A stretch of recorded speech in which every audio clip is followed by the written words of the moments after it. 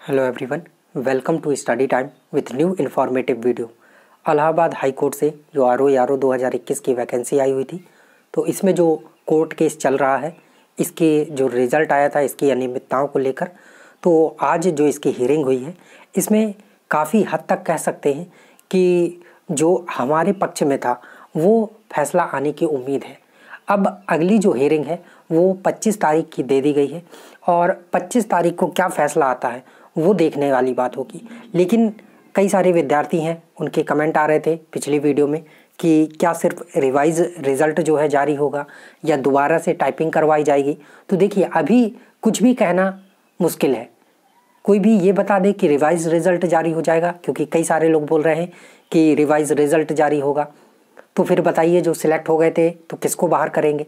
तो आज जो कोर्ट में जो सुनवाई हुई है, उसमें काफ़ी अच्छी बहस हुई है। मतलब काफ़ी अच्छे से चीज़ों को देखा गया है, सुना गया है और उसमें एनटीए से जवाब भी मांगा गया है कि आपने जो टाइपिंग करवाई है तो टाइपिंग में कैलकुलेशन किस आधार पे की है आपने?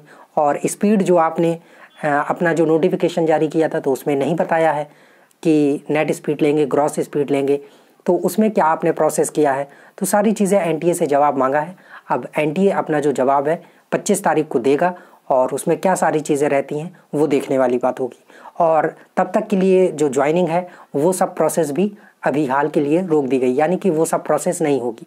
अगर ज्वाइनिंग हो गई तो फिर केस का मतलब क्या? क्योंकि केस काफ़ी अच्छा चल रहा है। अगर केस में दम नहीं होता तो ये पहली या दूसरी हियरिंग में ही इसको निपटा दिया जाता।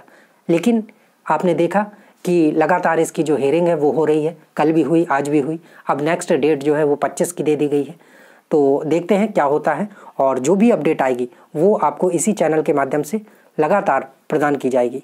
और आज काफ़ी जो सवाल जवाब थे, वो किए गए एन से कि आप अपना जो नोटिफिकेशन है, उसके हिसाब से आपने जो टाइपिंग में चीज़ें हैं, वो नहीं की।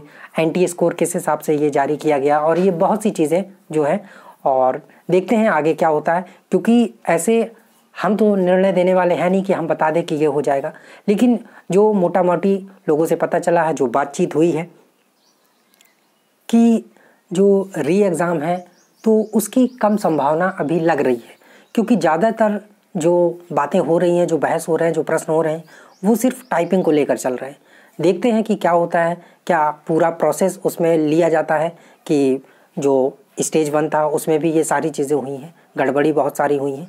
तो सारी चीज़ों को सबूत जो जितने भी हैं पेश किए गए हैं तो सबको देखा जाता है। या फिर सिर्फ़ टाइपिंग का मैटर ही, क्योंकि अभी ज़्यादातर जो मुद्दा बना हुआ है गर्म, वो सिर्फ़ टाइपिंग का मैटर ही बना हुआ है। तो देखते हैं आगे की हियरिंग में क्या होता है, और जो भी अपडेट आएगी पच्चीस तारीख को तो वो आपको इसी चैनल के माध्यम से दे दी जाएगी। तो तब तक आप लोग पढ़ते रहिए, अगले जो एग्ज़ाम है उनकी तैयारी के लिए।